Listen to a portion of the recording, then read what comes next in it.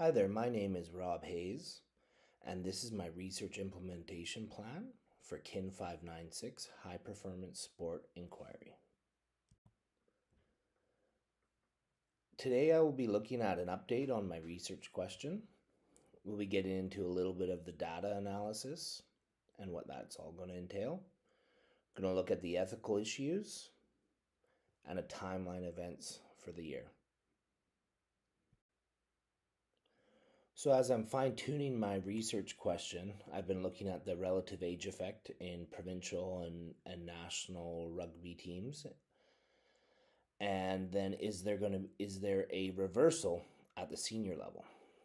And uh, I've been looking at 15s rugby. So, kind of the two hypotheses I have would be um, do athletes selected to youth teams favor uh, relative age effect? So um, athletes born in different times of the year? And are there a greater proportion of athletes who make the national senior team? Are they actually born later in the year? Um, a third thing that I'm going to kind of be looking at, um, as long as I can get the data, is is there a difference between males and females? So I'm doing my best right now to get data for U16, U18, U20, and senior teams in both male and female. I'm trying to get um, the data from the last 10 years, um, but it's at, at the moment it's seeming a little bit difficult, especially from the BCRU. But I might be able to get this from um, the Canadian Rugby Union.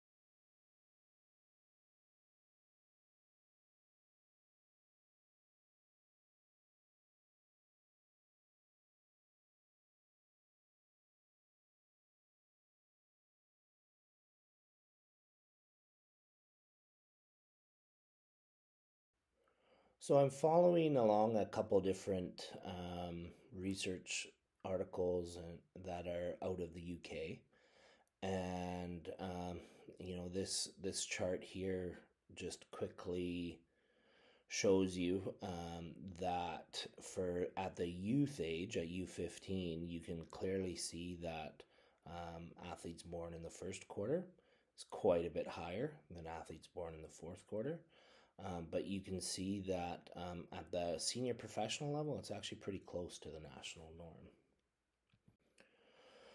Again, here's uh, some work with the U16, U23 out of out of England, and you can actually start seeing that in the in the third and the fourth quarter, it is quite a bit higher um, than in quarter one and quarter two. This is kind of some of the really interesting work.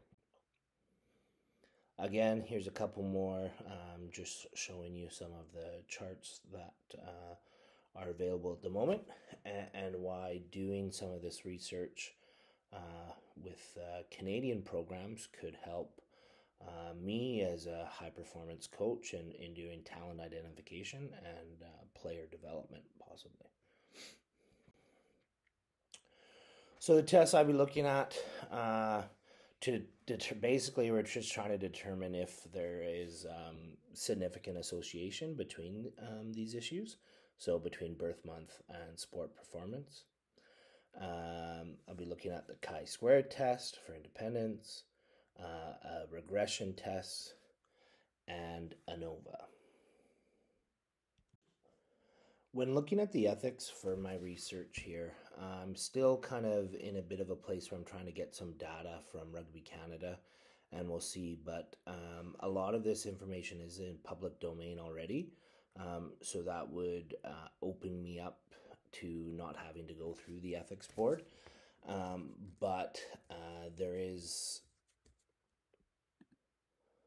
but there is some ethical considerations that I do have to make um, I will be looking at um, young athletes uh, underage. Um, and just thinking a little bit about the the long term effect and and what this kind of research um, would do and looking at uh, the development of of our young rugby players. I will just be looking at birth date, so uh, there shouldn't need to be any um, personal information with names, so the privacy and confidentiality should be protected.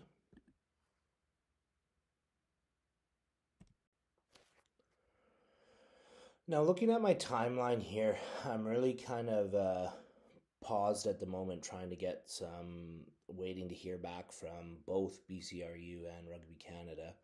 Uh, that's kind of where I'm at the waiting game to get this data, but I've touched base um, with both um, the on the the male and female side at Rugby Canada.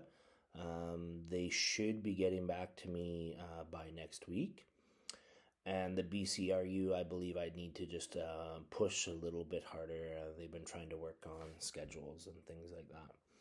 So uh, I would like to have my approved research proposal done um, by October 27th. And then I just need to clean up whether or not I am actually going to need to have um, the ethics board approval. Um, but I'll be doing that in November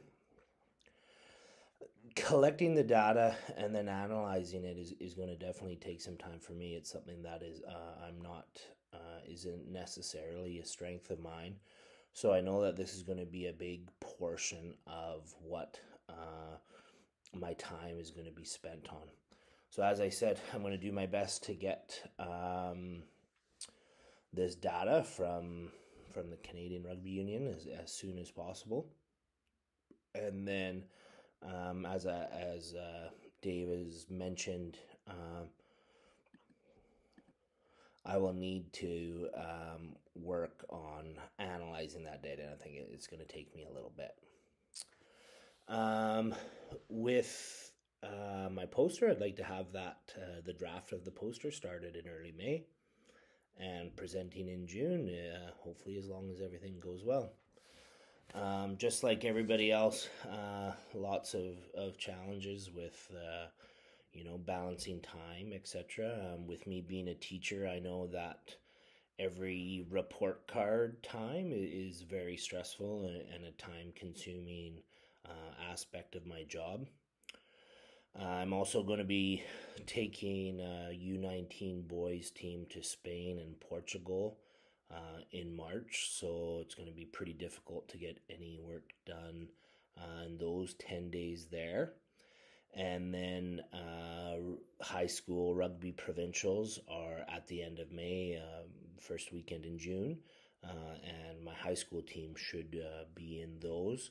So, again, that's another kind of full on uh, week or so that, you know, I don't get a ton of um, computer time.